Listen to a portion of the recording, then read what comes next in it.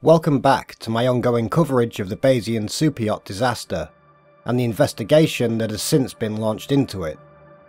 During the past week, the cause of death for those who lost their lives aboard the super yacht have finally started to be released, with initial reports having details on four of the victims.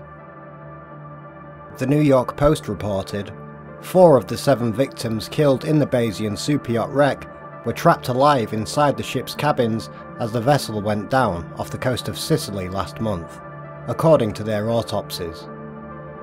New York City lawyer Chris Morvillo, his wife Neda, along with Morgan Stanley Bank International Chair Jonathan Bloomer and his wife Judy, all died of dry drowning, according to tests conducted over the past two days. None of the four passengers aboard Bayesian had water in their lungs trachea, or stomach, revealing that they did not drown in the seawater after the ship began sinking. The article also states that the four victims died of asphyxiation when the air bubble they huddled in ran out of oxygen and became toxic with carbon dioxide. They said the victim's cause of death was death by confinement, according to Italian publications. It was announced days later that Mike Lynch, the owner of the super yacht had also likely died of suffocation after running out of oxygen, with an article on the Standard website reading Reuters has reported the verdict came after initial examinations carried out on Saturday on Mr. Lynch's body. It is also stated that examinations on the body of his daughter, Hannah, were inconclusive, succeeding only in ruling out any traumas or wounds as the cause of death leaving open the possibilities she either ran out of oxygen or drowned. Bayesian's chef, Recaldo Thomas, was the only body to be found outside of the vessel, and, after initial examinations, it is stated these indicated he died by drowning. Further forensic tests have been ordered for all victims, with results expected in the coming weeks. A sailing, boating and maritime magazine named Afloat posted an article on their website sharing what Bayesian crew member Matthew Griffiths described as he spoke of the last moments before the yacht's sinking. He was on watch when the vessel sank and has described how he woke the skipper when wind speeds hit 20 knots. It is claimed that he told Italian prosecutors that the skipper, James Cutfield, then ordered that everybody be woken up. Griffiths described how the super yacht, which had been at anchor, tilted and we fell into the water. We were then able to climb back on and we tried to save those we could, he said.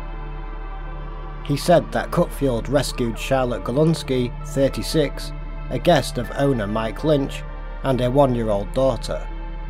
Griffiths, along with Captain James Cutfield and engineer Tim Parker, are all still under investigation by Italian authorities.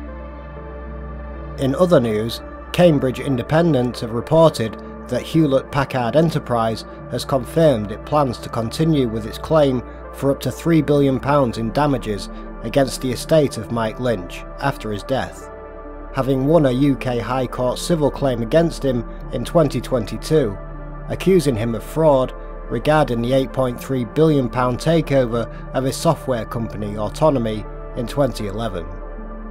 The report goes on to explain that Hewlett Packard is seeking damages of up to £3 billion, with a judge set to rule on the final sum soon. Reported on MSN.com, Nick Bark, head of salvage operations at boats.co.uk, said the only real way of knowing why the yacht sank will be to lift it to the surface, but that would be expensive and complicated, likely to involve a crane barge. He said divers would attach straps to the boat before it's lifted upright and then hauled out of the water. He predicted this would be time consuming as they have to do it in such a way that they don't damage anything too badly. Investing.com, among others however, have since reported that some progress with the salvage mission has been made, stating, The wreck of the Bayesian remains a priority for recovery efforts due to its potential environmental impact. The yacht carried 18,000 litres of fuel, posing a significant risk to the waters near Palermo. Bids for the salvage operation, funded by a company owned by Lynch's wife, have been submitted.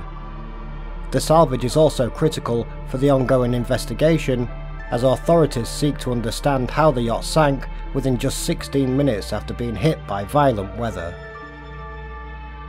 Now comes the wait for the results of forensic tests, including toxicology reports. But until then, the investigation and salvage operation remain critical.